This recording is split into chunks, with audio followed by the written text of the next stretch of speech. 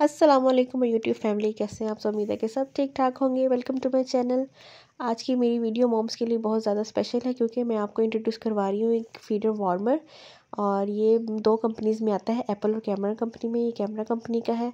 आप इसमें बच्चों के लिए फीडर जो है, उनका बच्चों का दूध गर्म कर सकते हैं बॉईल कर सकते हैं, आप उसको स्टीम दे सकते हैं, थोड़ा सा हॉट कर सकते हैं। जैसे कि आपको विंटर्स है, रात को ज़रूरत है बच्चे को गर्म दूध देने की, क्योंकि आप ठंडा दूध तो बिल्कुल ही ना दीजिएगा। चाहे गर्मियाँ हो, चाहे सर्दियाँ हो, बच्चे को वार्म मिल्क ही दीजिएगा। और ये बहुत ज़्यादा बेस्ट है। आपने इसे करना क्या है इसमें?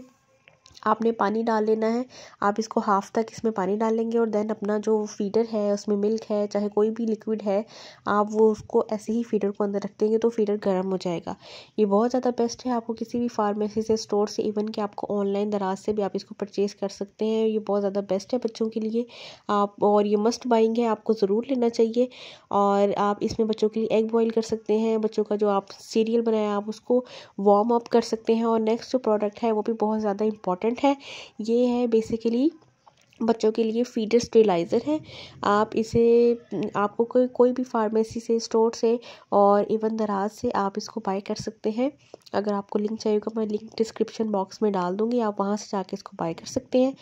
और ये है बच्चों का स्टेलाइज़र जैसे कि हमें बच्चों के फीडर्स जो है स्टेलाइज करने की ज़रूरत पड़ती है तो उसके लिए बहुत ज़्यादा महँगी महँगी मशीनें आपको परचेज़ करने की ज़रूरत नहीं है। ये एक बहुत अच्छी जो है स्टेलाइज़र है और बजट फ्रेंडली है, टेन थाउज़ेंड प्लस इसकी प्राइस है।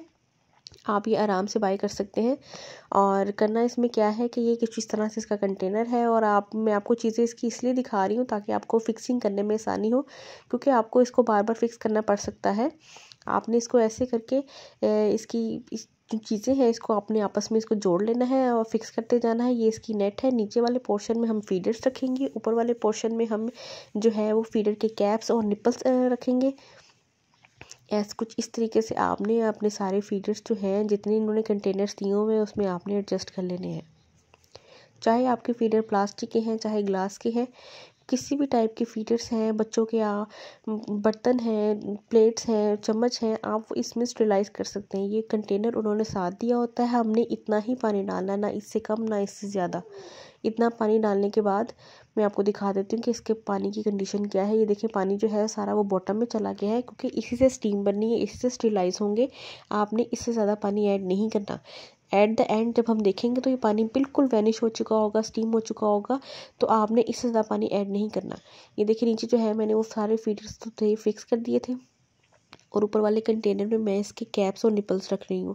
आप चाहें तो कैप्स और निपल्स सेपरेट करके भी रख सकते हैं। आप निकाल के या बीच में जैसे आपका दिल चाहे, आप उसको रख सकते हैं।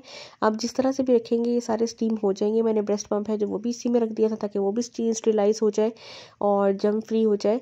तो एक बेस्ट प्रोडक्ट है मॉम्स के लिए। बिल्कुल भी इजी है कन्वीनियंट है। अब बस आपने इसको एडजस्ट करना होता है। आपको चौबीस घंटे बाद ही स्टेलाइज करने की ज़रूरत पड़ती है, क्योंकि फीडर्स जो है, बच्चे ने यूज़ किए हैं तो आपको अगले दिन उसको स्टेलाइज करना पड़ता है, उसको जम फ्री करना पड़ता है।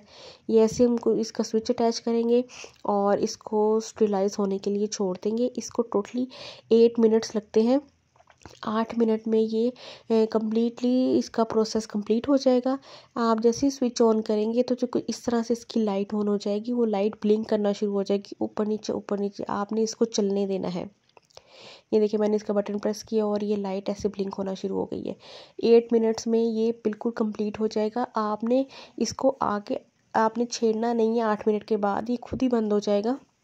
और ये देखिए, इसमें से ऐसे ही स्टेलाइज हो रहा है और उसमें स्टीम निकल रही है। आपने इसको हाथ नहीं लगाना।